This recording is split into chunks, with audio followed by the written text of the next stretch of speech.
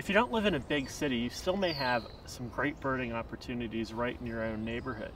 So we're in a residential part of Rochester, and we're just at a small woodlot. Um, it's only about 10 or 15 acres, and you can see that there's a great mix of habitat. We've got some tall trees, more shrubs, all these different layers, and we've got here on a really good day. You can hear that there's a yellow warbler singing, there's a blackpoll warbler singing, um, a Canada warbler just sang over here. Let's go see what we can find not even sure where to start. There are birds on both sides of the road. Sometimes these overcast days, you know, everybody likes to go out in the spring when it's a really bright sunny day, but these overcast days can be really good for birds. Um, and hopefully it'll mean that bird activity stays, the birds stay more active all day long. Got a yellow warbler up here, just flitted right. Nice male. Yep.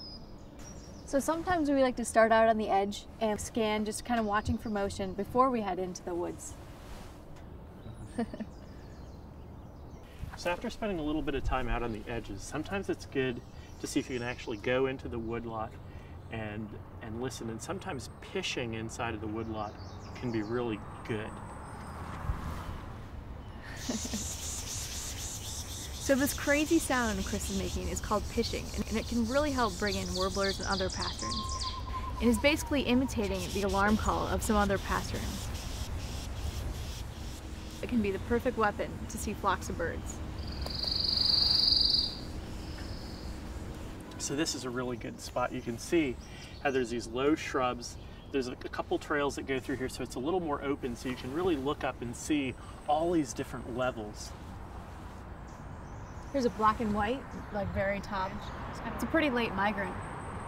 Most black and whites um, are already through. They tend to come through early in the spring migration. So throughout the spring, warblers migrate kind of at different times in the overall spring migration.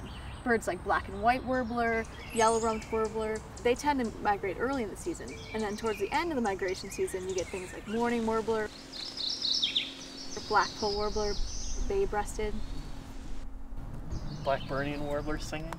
It's got the high, high-pitched song that rises and ends on an extremely high note. So basically when we walk in here, the first thing that we do is, is there's actually two things. You listen for birds calling, but then you also look for motion. And you know, Jessie and I know basically what every everything that we're hearing is, but even if you don't know what every sound is, or you don't know what any sound is, what you can do is watch for movement. And also, if you hear some something that sounds interesting, just try to focus on one thing. You know, right now, there's so many different birds singing that it's easy to be distracted. And you sort of start looking over here, and then you start looking over here, and it's easy to get frustrated. But if you focus on maybe one bird and try to track that down, then you'll really start to learn something about it. And then when you see it, spend a little time watching it and getting to know it.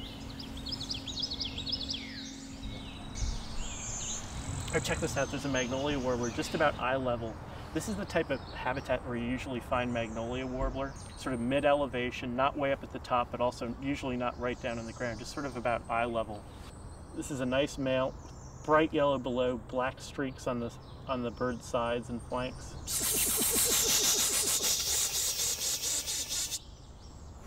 Sometimes when you're pishing to call birds in, the thing to do is to not get totally out in the open because birds kind of figure out what's going on if you're standing out in the middle of an open field. So when we're in this area and we're a little more obscured, um, it's a better place to start pishing for birds.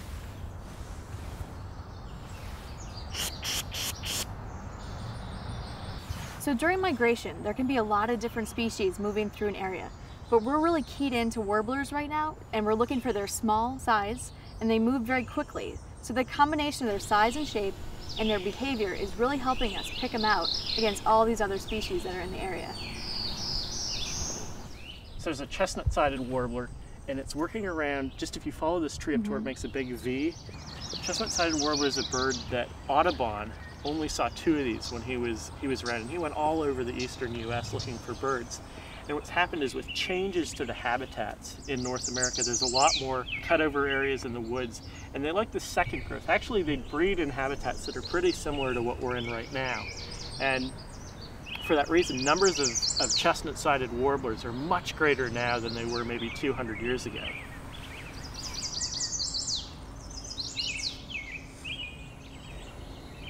So most of the birds that we're seeing in here actually aren't going to stay here. This is a small woodlot. It's too small to support breeding birds, but it's what makes checking these little woodlots so fun in migration. It's, it's almost like a treasure hunt. You come here and you don't know what you're going to see because these birds come, they land here at night, and they could be here a day or maybe two days and that's it. But in that time, they're able to look for insects or, or whatever they're eating and gather enough fat to allow them to continue on to wherever they're breeding. So from a bird's perspective, these woodlots are critical habitat where they're able to find enough food to be able to continue on their migration. So from a conservation perspective, these woodlots are just critical for the warblers.